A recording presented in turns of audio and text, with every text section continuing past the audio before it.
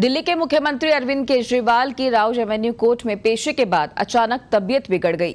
जानकारी के मुताबिक कोर्ट से ही सीबीआई ने उनको गिरफ़्तार किया और इसके बाद उनका शुगर लेवल सामान्य से कम हो गया।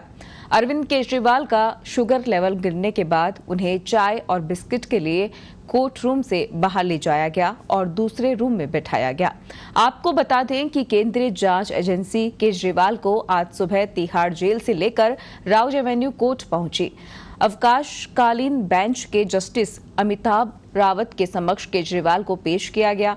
सीबीआई ने कोर्ट से उनकी कस्टडी की मांग की। केजरीवाल की गिरफ्तारी के लिए सीबीआई का कारण ये था कि वो उस कैबिनेट का हिस्सा थे जिसने शराब नीति को मंजूरी दी थी।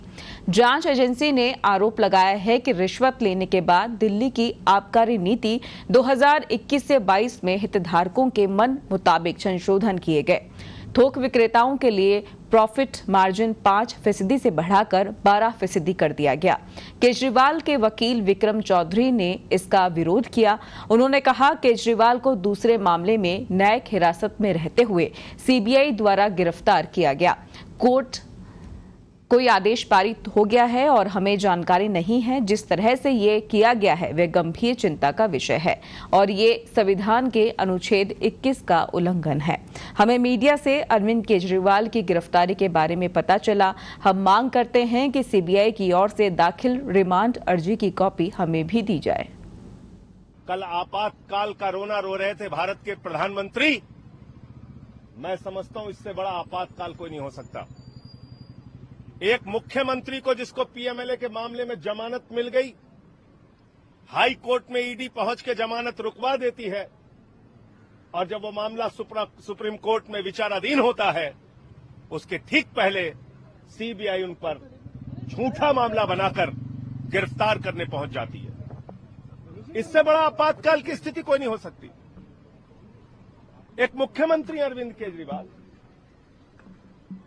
कोई टेररिस्ट नहीं है, कोई बहुत बड़े अपराधी नहीं है, आपका मकसद सिर्फ़ उनको जेल में रखना है। और आपको बता दूँ, चार चार सीट फ़ाइल किया सीबीआई ने, चार चार सीट। उन चार की चारों चार सीटों में अरविंद केजरीवाल का ज़िक्र नहीं। वो आरोपी नहीं बनाए जाते। कब बनाए जाते हैं? कब इनको याद आता है गिरफ्तारी की?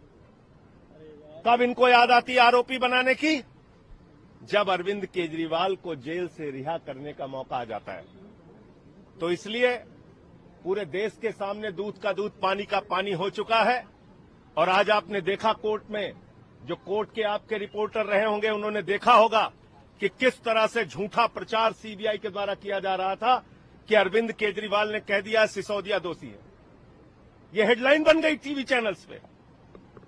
केजरीवाल जी ने जब इसका विरोध किया कोर्ट के अंदर, हमारे वकीलों ने विरोध किया तो माननीय न्याय, न्यायाधीश महोदय ने खुद से वो स्टेटमेंट पढ़ा सीबीआई से मांगकर।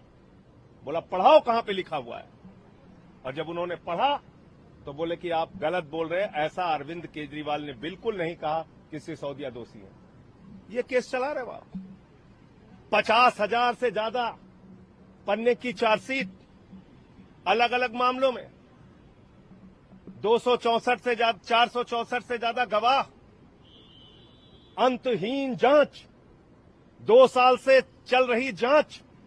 सुप्रीम कोर्ट में कहा है कि फाइनल चार्जशीट तीन जुलाई तक दाखिल कर देंगे। उसके पहले केजरीवाल की गिरफ्तारी। जाँच पे जाँच जाँच पे जाँच, झूठ पे झूठ झूठ पे झूठ, अंतहीन जाँच। तो मैं भारत के प्रधानमंत्री और भारतीय जनता पार्टी से कहना चाहता हूँ, अगर इतनी नफरत हम लोगों से है, आपातकाल तो तुमने देश में लगा ही रखा है, कहीं चौराहे पे खड़ा करके हम सबको गोली मार दो, एक बार में समस्या का समाधान हो जाएगा। ऐसे गंदा खेल मत खेलो।